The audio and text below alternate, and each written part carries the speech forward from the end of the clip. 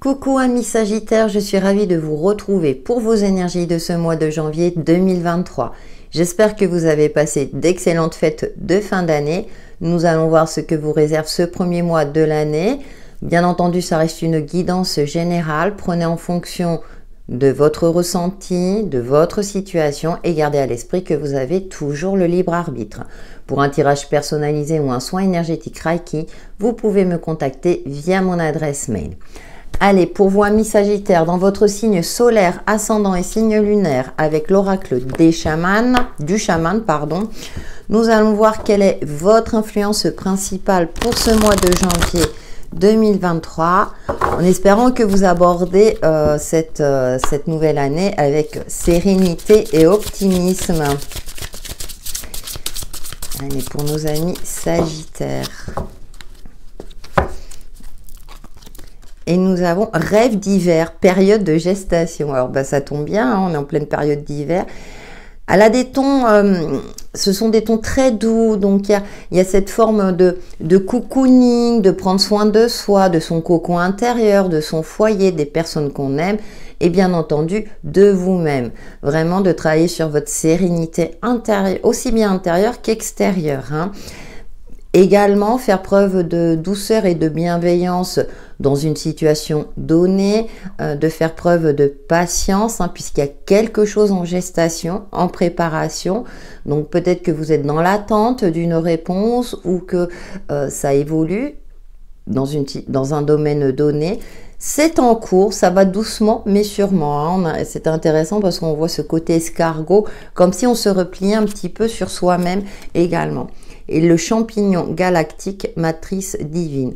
On vous invite à garder la foi, à avoir confiance dans le fait que ça va finir par aboutir, que ça va finir par s'éclaircir en fonction des difficultés que vous traversez en ce moment ou tout simplement euh, si tout va bien pour vous que les choses vont euh, sont dans la continuité de l'évolution mais il y a peut-être un ralentissement durant ce mois de janvier. Mais euh, je sens que c'est un ralentissement, je dirais, euh, doux. C'est pas quelque chose qui, euh, qui va vous mettre dans des états de frustration, d'impatience, bien au contraire. Hein. Peut-être que justement vous prenez conscience de tout cela et que vous allez profiter de cette période-là pour vous occuper de vous, pour vous ressourcer, etc. Nous allons voir avec Umrazai quelles sont les autres énergies qui vous accompagnent pour vous les Sagittaires en signe solaire, ascendant et signe lunaire.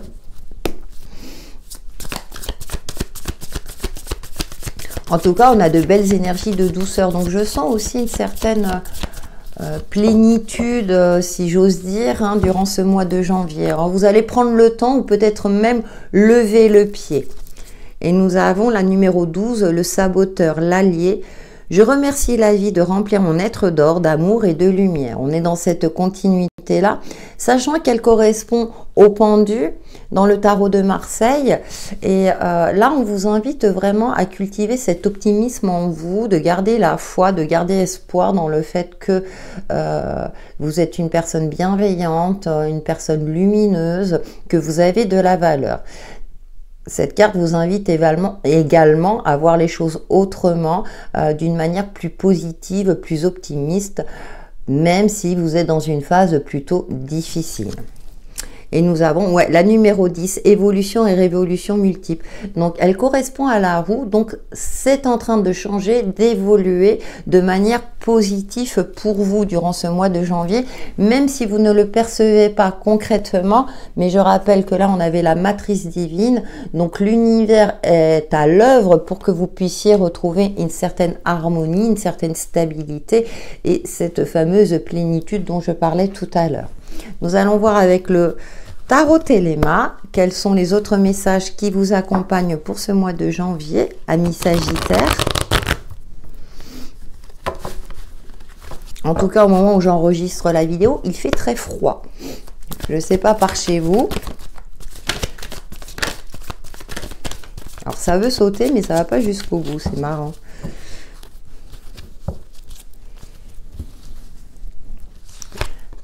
Nous avons la 3 de bâton. vous êtes peut-être dans, une attente d'une nouvelle, hein, que quelque chose arrive à vous, ça va arriver. Et ça nous parle également d'ouverture d'esprit, de voir les choses dans son ensemble et de ne pas focaliser que sur un point de vue. La 4 de coupe. Dans ce jeu, elle parle de sérénité, de se poser. Hein, voyez, on voit, on voit cette fleur d'une pureté, elle est blanche. Hein. Les coupes sont vides, donc vous avez peut-être besoin de vous régénérer. Il y a peut-être une fatigue physique, psychique pour certains d'entre vous. Et il est temps, comme je l'indiquais tout à l'heure, de lever le pied, de prendre du temps pour vous. Des massages, euh, voilà, des moments. Euh, ouais, et la 6 euh, d'épée. Peut-être pour vous préparer à, voguer vers de nouveaux horizons. Avec cette 6 d'épée, on voit un petit peu ce côté sombre. Donc il y a une situation qui demande à être éclairée. Euh, et pour cela, vous devez prendre du recul, vous éloigner peut-être un moment pour revenir avec plus d'énergie, plus de sérénité ou plus de clairvoyance. Une fois que vous aurez vu, euh, je dirais, cette situation ou peut-être un travail euh, personnel dans son ensemble, hein, ouvrir votre regard quelque part. Donc, il est intéressant effectivement de s'octroyer du temps, de temps, du temps pardon, de repos, d'exercer des activités qui vous permettent euh, de lâcher un petit peu le mental hein, qui cherche à tout, tout prix à trouver une solution, hein, bien entendu. Je le défends, ce mental, ce pauvre mental qui cherche des solutions. Euh, ça fait partie de notre condition humaine, mais il est intéressant de temps en temps de prendre le large, hein, de, de, vraiment. Moi, je, je, sens quelque chose, je dirais, de périodique. Hein, c'est pas quelque chose qui c'est pas définitif. Il y a juste un moment passager où vous devez vous éloigner. Alors ça peut être également de personnes toxiques ou d'une situation qui voyez, qui, est assez lourde, et vous pourrez peut-être revenir dessus par la suite. Je ressens plus ce côté-là. Euh, bien souvent, c'est bon, bah, c'est définitif. Là, je ressens ce côté de bon, je prends du recul, j'essaie de voir peut-être aussi les choses autrement, euh, dans un autre point de vue. Je ne focalise pas. Oui, pour retrouver le bonheur et cette plénitude dont je parlais tout à l'heure, voyez, la 10 de coupe me fait penser à ce rêve d'hiver, hein.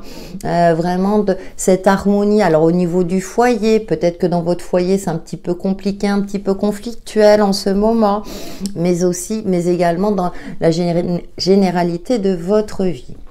Nous allons voir avec le grand oraclisé quels sont les autres messages qui vous accompagnent pour vous les Sagittaires ce mois de janvier 2023. je ressens le message que je reçois, enfin le ressenti que j'ai, c'est vraiment quelque chose de passager. Donc ça ne veut pas dire que ça va durer tout le mois de janvier, mais euh, je dirais que ça sera le, message le plus important. Nous avons le séducteur. il sort beaucoup ce séducteur. Hein. Alors nous allons voir avec les autres cartes. Hein.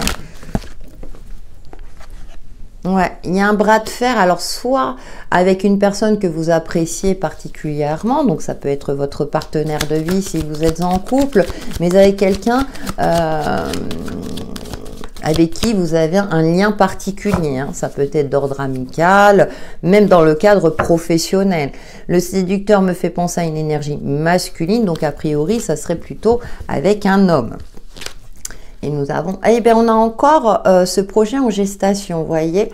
Euh, peut-être qu'effectivement, vous êtes aussi également en dualité avec vous-même pour mettre en place un projet, des accords avec votre partenaire professionnel ou, ou personnel ou avec quelqu'un. Hein. vous avez peut-être envie de vous associer à quelqu'un pour monter quelque chose, une activité associative comme une activité, euh, je dirais, plus lucrative en fonction de votre situation. En tout cas, vous avez envie que les choses évoluent dans le bon sens et vous voulez aussi que tout ce qui est conflictuel, tout ce qui euh, euh, rabaisse vos énergies, vous met dans des états, je dirais, de, euh, de tristesse ou d'angoisse, vous voulez quitter cela. Et donc, il y a les prémices, et comme on est dans cette période de gestation, là, vraiment, le message pour vous, c'est vraiment de prendre du temps pour vous. Ouais. Vous avez peut-être la sensation, on va dire, faut voir clair par rapport à une situation. C'est pour ça qu'on vous demande de euh, d'avoir une vue globale ou de voir les choses autrement parce que apparemment, bien entendu, hein, ça parlera à qui ça parlera. Là, votre façon de euh, voir les choses n'est pas la bonne. Donc, ça crée une dualité, soit avec vous-même ou par rapport à vos limites. Hein, euh, voilà, je voudrais mettre ça en place, mais je n'y arrive pas parce que je n'ai pas assez de sous, etc. Et là, vous vous limitez et on nous parle d'erreur. Donc, votre point de vue, je vous fais confiance pour le transposer par rapport à votre situation, n'est pas la bonne. Donc, prenez le temps, effectivement, pour vous, pour éclairer un petit peu votre esprit, un petit peu pour éclairer votre esprit, y voir plus clair déjà en vous, pour avoir peut-être aussi un regard, je dirais, neuf ou un nouveau regard ou renseignez-vous sur les différentes possibilités avec, euh, je dirais, une certaine forme de d'ouverture d'esprit. Voilà, je cherchais le mot. Nous allons voir l'aspect relationnel. L'aspect relationnel, je vais pas aller plus loin avec l'oracle de l'union sacrée. On va voir si l'aspect purement sentimental ressort.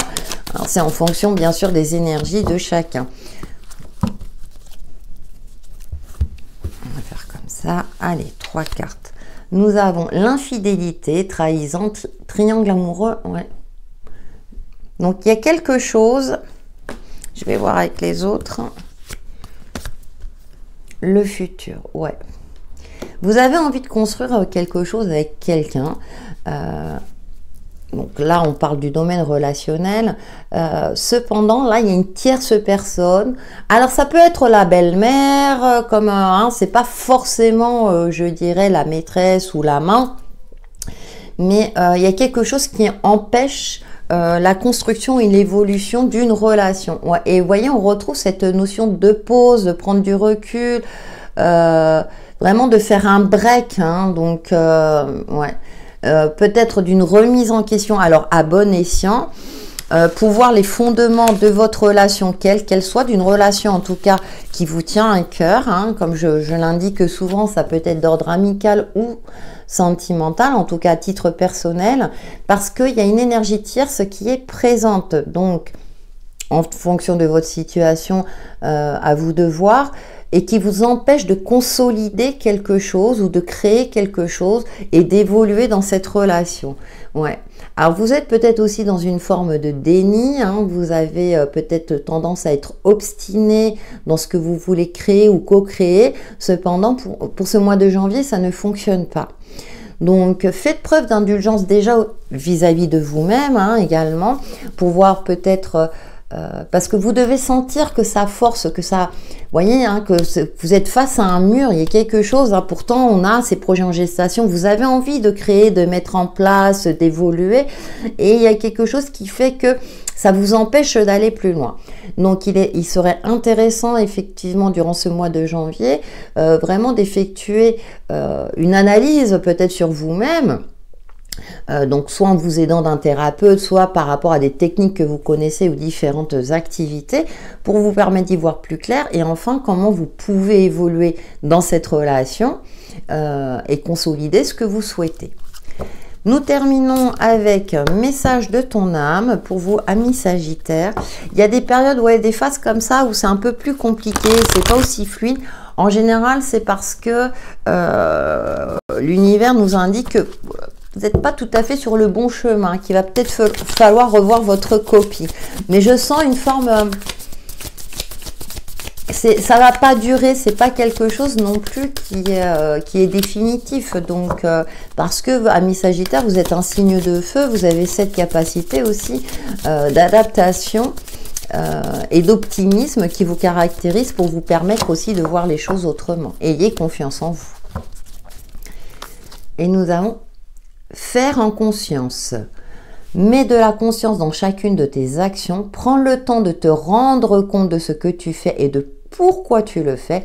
Une chose à la fois, l'esprit libre est disponible pour cette action. Et c'est intéressant parce qu'on vous demande de structurer hein, euh, vos actions. Et on a quand même ce troisième œil et cette élévation avec l'énergie solaire, l'astre solaire pardon, et lunaire. Donc de vraiment de travailler sur votre alignement pour voir clair dans une situation par rapport à vous-même, afin de pouvoir évoluer, euh, je dirais, sans conflit, sans obstacle, avec plus de fluidité.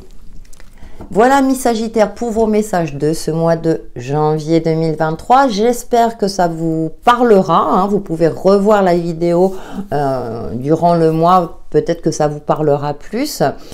en attendant, prenez soin de vous et à bientôt.